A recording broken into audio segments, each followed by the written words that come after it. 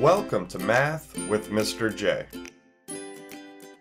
In this video, I'm going to cover why we keep, switch, flip when we divide fractions. You may also hear keep, change, flip, or multiply by the reciprocal. These all mean the same thing. Now, before we get into our dividing fractions example, we need to review and fully understand a few things about fractions. We'll start with fractions representing division. A division problem can be set up as a fraction. So for number one, we have 8 divided by 4 equals 2. Now we can set that up as a fraction. We can set it up as 8 divided by 4 equals 2.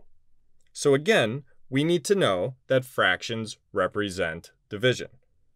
The second thing that we need to understand is that anything over 1, so a denominator of 1, equals itself.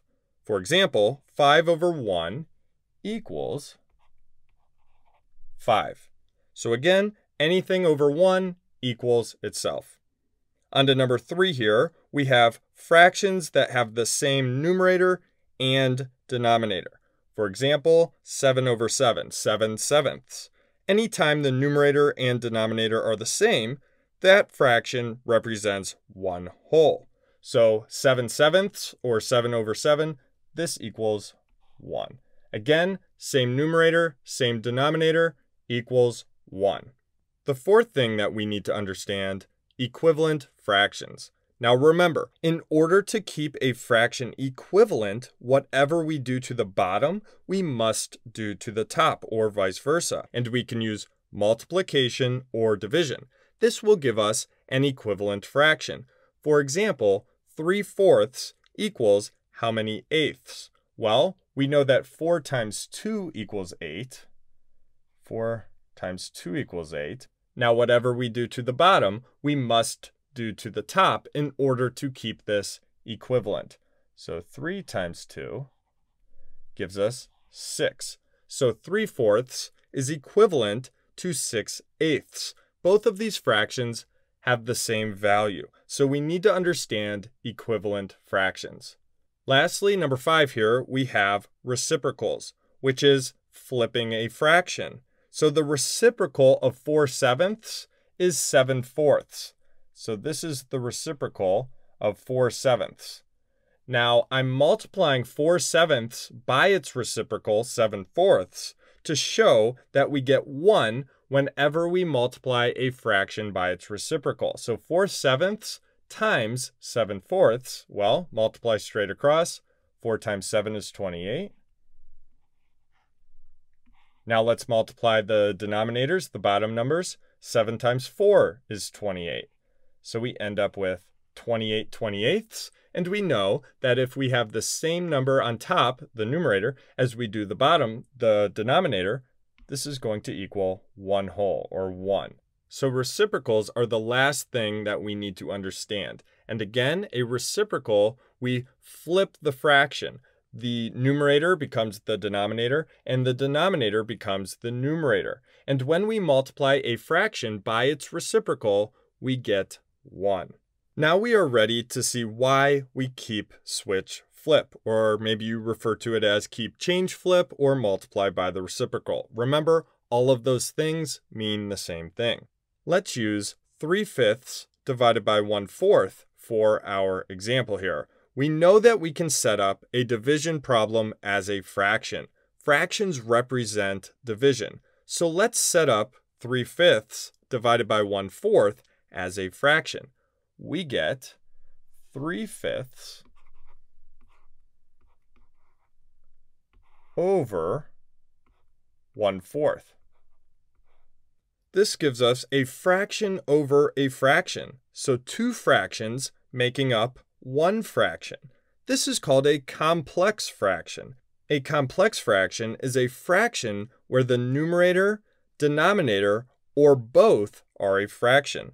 Now, once we have our complex fraction, we want to get our denominator to equal 1. We know that anything over 1 equals itself, and that is going to make this much more manageable. Well, how do we get our denominator to equal 1? we need to multiply it by its reciprocal, flip the fraction. So let's multiply 1 fourth by 4 over 1. And again, we are doing this so we get that denominator to equal 1 because we know that anything over 1 equals itself. Now, since we are multiplying our denominator by 4 over 1, remember, in order to keep a fraction equivalent, whatever we do to the bottom, we must do to the top, or vice versa. This keeps everything equivalent. The value doesn't change. So we need to multiply our numerator by 4 over 1 as well.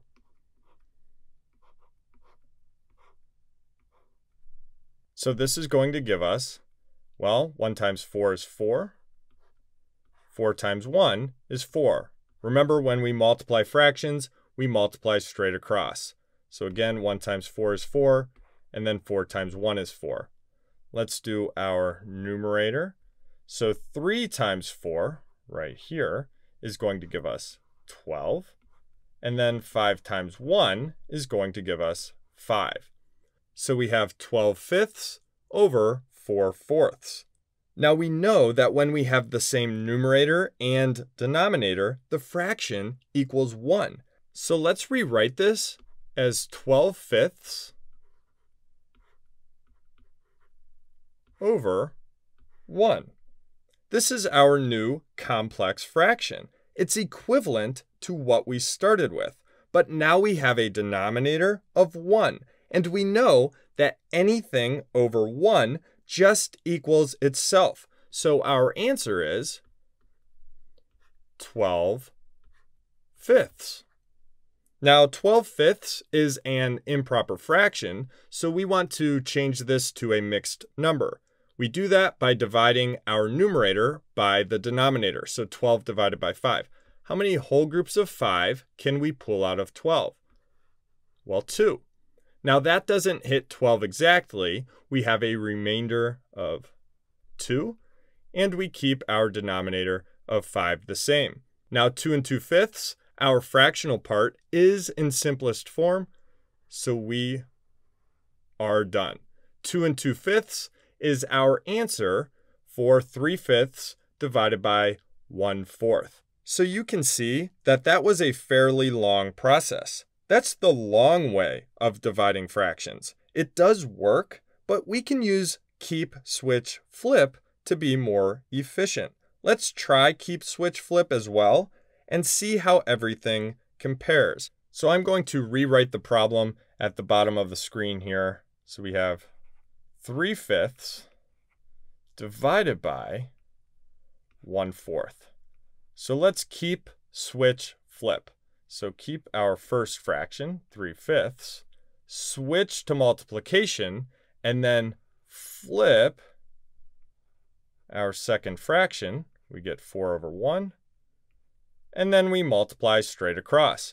We get 12 fifths, the same answer we got when we used the long way. And we convert this to a mixed number, which is 2 and 2 fifths. So you can see, look up here, and you'll notice that we have 3 fifths times 4 over 1. The same thing we have down here. Now keep, switch, flip, again, is a much quicker process here. We're always going to end up with the same thing here and here. So why not cut out all of the extra parts of that process and just jump straight to keep switch flip. So that's why we do keep switch flip when we divide fractions. I hope that helped. Thanks so much for watching. Until next time, peace.